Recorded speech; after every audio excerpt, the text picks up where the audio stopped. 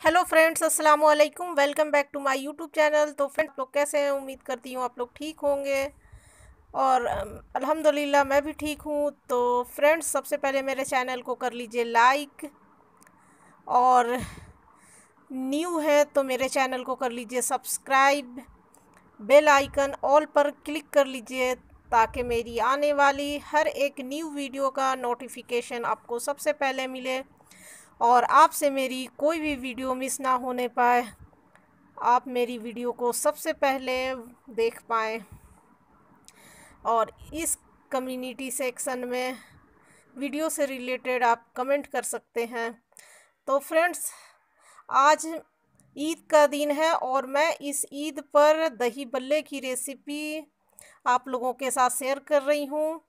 तो आज ईद का दिन है तो ईद के दिन मैं मैं दही बल्ले बनाई हूँ। तो वो दही बल्ले मैं आप लोगों के साथ शेयर कर रही हूँ। तो ये बहुत ही टेस्टी दही बल्ले बनाए बने हैं। बिल्कुल रुई की तरह सॉफ्ट देखिए, मैं आपको कट करके दिखा रही हूँ। ये अंदर से भी कितने अच्छे खोखले, जालीदार बने हैं और बहुत ही सॉफ्ट बने हैं और खाने में बहुत ही टेस्टी बने हैं। और इसका लुक देखिए कितना खूबसूरत लुक आया है। तो चलिए बनाना स्टार्ट करते हैं। तो इसके लिए मैंने 250 ग्राम उड़द का दाल लिया है और इसे रात भर भिगो कर छोड़ दिया था। तो फ्रेंड्स, आप चाहें तो इसे दो तीन घंटा पहले भी भिगो सकते हैं, ये जल्दी फूल जाता है। तो उड़द का दाल को इस तरह से दो तीन पानी से धो लेंगे पहले। तो देखिए मैंने दो तीन पानी से धो लिया है और अब इसे मिक्सी के जार में डालकर पीस लेंगे।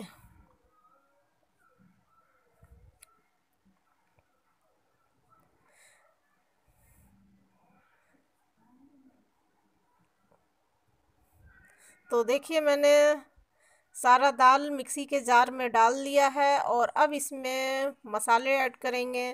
तो मसाले में मैंने वन टेबल स्पून जीरा और हाफ़ टेबल स्पून काली मिर्च ऐड किया है। तो और फिर इन मसालों के साथ पीस लेंगे दाल को। तो देखिए, मैंने पीस लिया है। कितना स्मूथ बैटर बनकर तैयार हुआ है। बिल्कुल मैंने बारीक पीसा है। दही बल्ले का बैटर आप बिल्कुल बारीक पीस कर तैयार करें। दरदरा या मोटा बिल्कुल भी ना पीसे नहीं तो आपके दही बल्ले अच्छे नहीं बनेंगे। चैनल तो फ्रेंड्स आप लोग कैसे हैं? उम्मीद करती हूँ आप लोग ठीक होंगे और अल्हम्दुलिल्लाह मैं भी ठीक हूँ। तो फ्रेंड्स आज मैं बना रही हूँ दही बल्ले। तो मैं आप लोगों के साथ दही बल्ले की तो रेसिपी पसंद आए तो मेरे चैनल को लाइक कर दीजिएगा। और अगर आप मेरे चैनल पर नए हैं तो मेरे चैनल को सब्सक्राइब कर लीजिएगा बेल आइकन ऑल पर क्लिक कर लीजिएगा मेरी आने वाली हर एक नई वीडियो का नोटिफिकेशन आपको सबसे पहले मिले और आपसे मेरी कोई भी वीडियो मिस ना होने पाए। तो चलिए दही बल्ले बनाना स्टार्ट करते हैं।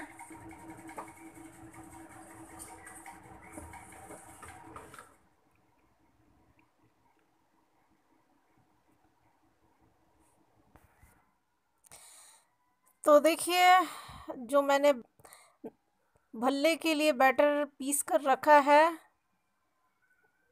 वो एक साइड रख देते हैं और फ्लेम ऑन करके कढ़ाई चढ़ाते हैं। तो अभी कढ़ाई में पानी है तो पानी को सूखने देते हैं। फिर इसमें तेल डालेंगे। तो देखिए, कढ़ाई का पानी सूख गया है और अब इसमें मस्टर्ड ऑयल डालेंगे। आप जो भी ऑयल खाते हैं, उसी ऑयल में भल्ले फ्राई कर सकते हैं। तो ऑयल डालने के बाद मैंने फ्लेम को मीडियम कर दिया है। और अब भल्ले के बैटर को तैयार करते हैं। तो इसमें मैंने डाला है टेस्ट के अकॉर्डिंग नमक। आप जैसा नमक खाते हैं, कम ज़्यादा आप अपने टेस्ट के अकॉर्डिंग डाल सकते हैं। तो देखिए मैंने भल्ले में सिर्फ़ नमक डाला है और एक साइड मैंने फ्राई पैन में पानी रखा है तो उस पानी में थोड़ा सा नमक ऐड कर देंगे।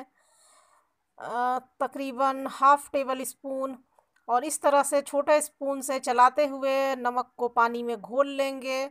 और ये पानी मैंने गरम या ठंडा पानी नहीं लिया है, बल्कि ये नॉर्मल पानी है। और अब स्पून को हटा देंगे।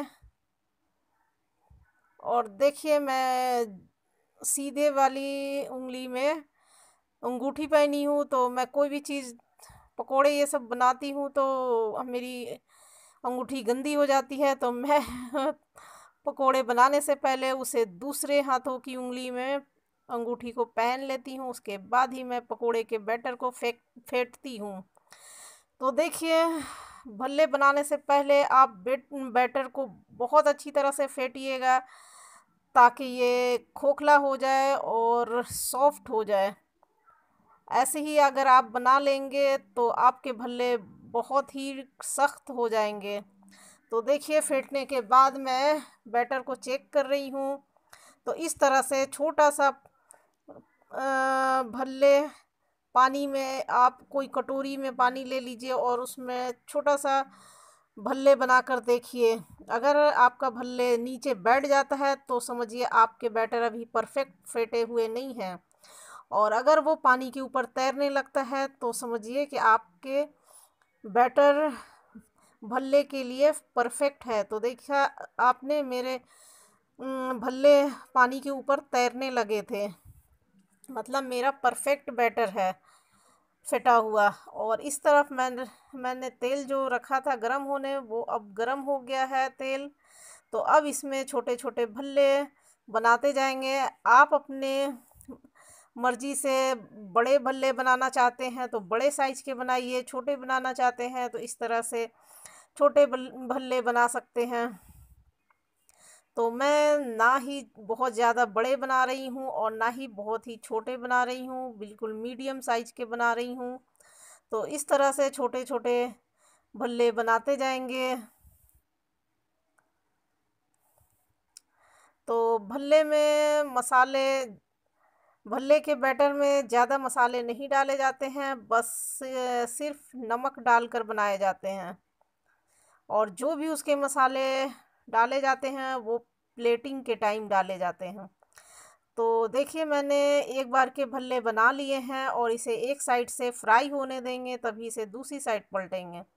तो देखिए, ये एक साइड से फ्राई हो गए हैं। अब इसे छन्ना से दूसरी साइड पलट लेंगे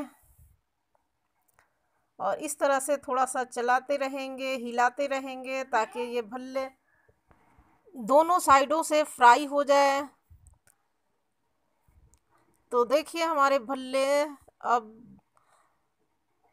दोनों साइडों से फ्राई हो गए हैं और भल्लों को हमेशा लो या मीडियम फ्लेम पर ही फ्राई कीजिएगा, हाई फ्लेम पर मत कीजिएगा, नहीं तो ये अंदर से कच्चे रह जाएँगे और ऊपर से जल जाएँगे। तो मैंने इसे मीडियम फ्लेम पर फ्राई किया है। तो अब ये भल्ले दोनों साइड से अच्छी तरह से फ्राई हो गए हैं तो अब इन्हें तेल से बाहर निकाल लेंगे।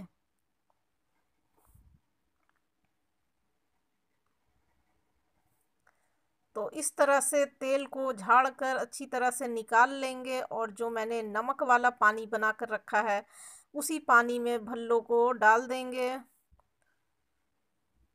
और इसे ज़्यादा देर डला हुआ नहीं रखेंगे, जैसे और अब दूसरा टिप तैयार करेंगे। तो इसी तरह से छोटे छोटे भल्ले तेल में छोड़ते जाएँगे। और बाकी के भी भल्ले इसी तरह से तैयार करेंगे। तो देखिए, मैंने दूसरे बार के भी भल्ले बना लिए हैं और इन्हें दोनों साइडों से फ्राई होने देंगे। तो देखिए, ये सारे भल्ले मैंने बनाकर तैयार कर ली हैं और अब इसे पानी से बाहर निकाल लेंगे तो थोड़ा सा हल्के हाथों से प्रेस करते हुए इसका एक्स्ट्रा पानी निकाल लेंगे और बहुत ही ध्यान से करेंगे, नहीं तो आपके भल्ले टूट जाएँगे। तो बहुत ही हल्के हाथों से इसका एक्स्ट्रा पानी निकालेंगे। देखिए, हमारे एक भी भल्ले नहीं टूट रहे हैं।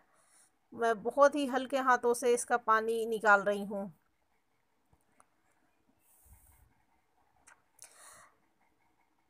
नमक के पानी में रखने से ये फ़ायदा होता है कि आपके भल्ले सॉफ्ट बनेंगे। और सिट्ठा बिल्कुल भी नहीं होगा। जैसे नमक नहीं डालेंगे ना तो इसका नमक बहुत कम हो जाएगा पानी में डालने से। इसलिए पानी में ज़रूर नमक डाला करें। और चलिए, अब इसका मसाला तैयार करते हैं। तो मैंने तवा रख दिया है और इसके ऊपर एक बड़ा चम्मच जीरा और एक छोटा चम्मच काली मिर्च रखें, डालेंगे। और पाँच सूखी लाल मिर्च और इस तरह से तवा के ऊपर फैला देंगे। और जब ये गर्म हो जाए तो स्पून की हेल्प से इसे लगातार चलाते हुए ड्राई रोस्ट करेंगे। आप देखेंगे थोड़ी देर में ही इन मसालों में से एक सोंधी सोंधी सी खुशबू आने लगेगी। तो समझिए आपके मसाले रोस्ट हो गए हैं तो अब आप फ्लेम बंद कर दें। तो देखिए, मैंने फ्लेम को बंद कर दिया है और इसे किचन काउंटर पे निकाल कर बेलन से मोटा दरदरा पीस लिया है। आप चाहें तो इसे बारीक मिक्सी के जार में डालकर पीस सकते हैं या सिलबट्टे पे। और दही बल्ले के लिए मैंने एक केजी दही को घर में जमाया है और ये देखिए, प्लेटिंग के लिए हमारा सारा सामान यहाँ पे हाजिर है। इमली की चटनी, ग्रीन चटनी, दही दही भल्ले मसाला और ये है चाट मसाला, एक चम्मच एक चम्मच रेड चिल्ली पाउडर। तो चलिए अब प्लेटिंग करते हैं दही भल्ले की। तो दही भल्ले के लिए दूसरे प्लेट में निकाल लेंगे भल्लों को। तो फ्रेंड्स, मैं ये दही भल्ले ईद पर बना रही हूँ। ईद स्पेशल है तो आप ईद के दिन ज़रूर बनाएँ। आपके यहाँ गेस्ट आते हैं तो आप इस तरह से दही भल्ले बना कर देंगे तो आपके गेस्ट बहुत ही खुश हो जाएँगे और बहुत ही शौक़ से खाएँगे। और ईद मीठी ईद होती है तो मीठा खा खा कर सबका दिल भर जाता है। तो आप इस तरह से दही भल्ले बनाकर मेहमानों को दें तो तीखा चटपटा खाकर उन्हें मज़ा आ जाएगा। तो देखिए, मैंने सारे भल्ले निकाल लिए हैं और इस तरह से मैंने एक बाउल में चीनी दही लिया है और जिस दही उसी दही में एक छोटा स्पून चीनी ऐड कर देंगे। और इस तरह से चलाकर अच्छी तरह से मिक्स कर लेंगे ताकि जब तक चीनी घुल ना जाए, इसे मिक्स कर लेंगे और अच्छी तरह से दही फिट ना जाए। तो देखिए, मैंने दही से सारे भल्लों को कोट कर दिया है, ढक दिया है और अब इस पर ग्रीन चटनी से गार्निशिंग करेंगे। तो ग्रीन चटनी से मैंने गार्निशिंग कर लिया है और अब इस पर करेंगे इमली की चटनी से गार्निशिंग। तो फ्रेंड्स, इमली की चटनी दही भल्ले के लिए बहुत ही ज़रूरी है। अगर आप इमली की चटनी दही भल्ले में नहीं डालेंगे तो आपके दही भल्ले खाने में इतने टेस्टी नहीं बनेंगे और मज़ा नहीं आएगा।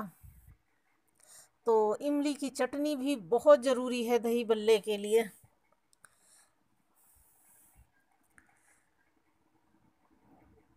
तो मैंने इस पे दही और ग्रीन चटनी और इमली की चटनी से गार्निशिंग कर लिया है और अब इस पर सूखे मसालों से स्प्रिंकल करेंगे। तो ये मैंने जो बनाया था दही भल्ले मसाला, इसे ऊपर से स्प्रिंकल कर देंगे। और अब चाट मसाला चाट मसाला भी बहुत टेस्टी लगता है दही बल्ले के ऊपर और आप जितना तीखा खाते हैं उतना रेड चिल्ली पाउडर से गार्निशिंग